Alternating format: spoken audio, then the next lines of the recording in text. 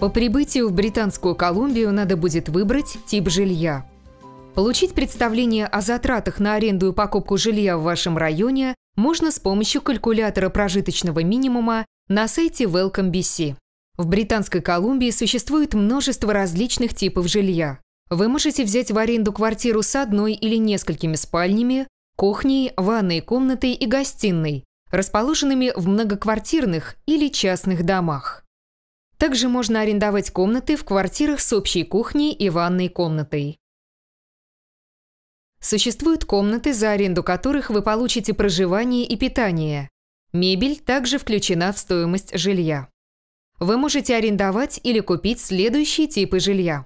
Дуплекс – это дом, разделенный на отдельные квартиры. Таунхаус представляет собой небольшой дом, соединенный с другими похожими домами. Кондоминиум или кондо – многоквартирный дом, в котором каждая квартира кондо является собственностью одного лица или семьи. Информация об аренде или покупке дома доступна в интернете. Будьте осторожны при поиске жилья в интернете и никогда не платите деньги, пока вы не посетили жилье лично и не убедились в законности действий продавца или арендодателя. Если по прибытию вы будете искать жилье сами, то обратите внимание на надписи «Vacancy» или «For Rent» на домах и зданиях, а также в рекламе на досках объявлений вашего района. Вы также можете просматривать объявления в газете под рубрикой «Rentals». Менее дорогостоящее жилье доступно в жилищных кооперативах Co-ops. Информация о кооперативах находится на веб-сайте Федерации кооперативного жилья Британской Колумбии. Противозаконным является отказ владельцев вам в аренде на основании расы, цвета кожи, возраста, месторождения, религии, пола, сексуальной ориентации, брачного статуса, физических или психических недостатков или дохода.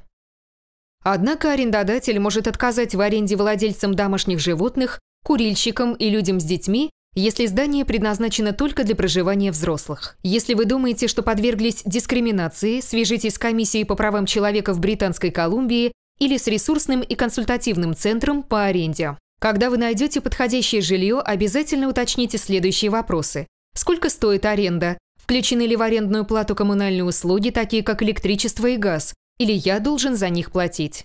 Какую сумму надо внести в залог на случай ущерба? Залог на случай ущерба – это дополнительные деньги, которые необходимо внести во время поселения. Этот залог в сумме не более половины месячной арендной платы возвращается вам при выезде из квартиры за вычетом компенсации за причиненный ущерб. Арендодатель может попросить вас предоставить рекомендации. Рекомендации – это письма или телефонные номера людей, которые смогут охарактеризовать вас как хорошего арендатора. Возьмите эти рекомендации с собой во время поиска жилья. После вашего решения об аренде жилья арендодатель предложит подписать арендный договор.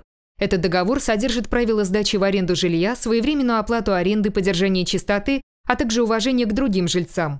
Убедитесь, что у вас есть договор об аренде, подписанный вами и владельцем квартиры. Это ваш обоюдный контракт. Перед подписанием договора внимательно осмотрите арендуемое жилье, составьте список дефектов и попросите арендодателя подписать этот список. Это обеспечит возврат вашего залога при выселении. Арендодатель не имеет права брать арендную плату до подписания договора об аренде. Это незаконно. Не арендуйте жилье у тех, кто требует деньги за принятие заявления об аренде.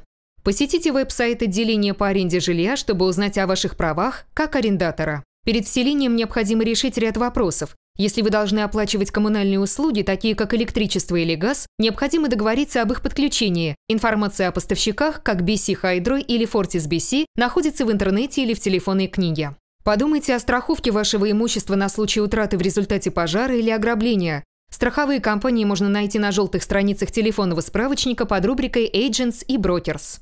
Вам необходимо наладить телефонную связь и интернет. Информация о местных компаниях и провайдерах находится на желтых страницах телефонного справочника под рубрикой Telephone Service Local and Internet Access Providers. Прежде чем вносить изменения, такие как окрас стен, необходимо получить письменное разрешение от хозяина. Если вы решили приобрести жилье, то начните поиск с объявления о продаже жилья в газетах или в интернете. Большинство людей обращаются к агенту по недвижимости за помощью в подборе жилья для покупки, торгах за лучшую цену и разъяснении правовых аспектов. Агента по недвижимости можно найти на желтых страницах телефонного справочника под рубрикой Real Estate. Большинство людей оформляют кредит на покупку жилья в банке. Это называется ипотекой. Каждый банк имеет свои ипотечные ставки, поэтому стоит поискать наиболее выгодные условия. Если вы решите сдавать дом в аренду, то вам необходимо знать свои права и обязанности. Более подробная информация находится на веб-сайте отделения по аренде жилья. Информация об аренде или покупке жилья в Британской Колумбии содержится на веб-сайте Welcome BC.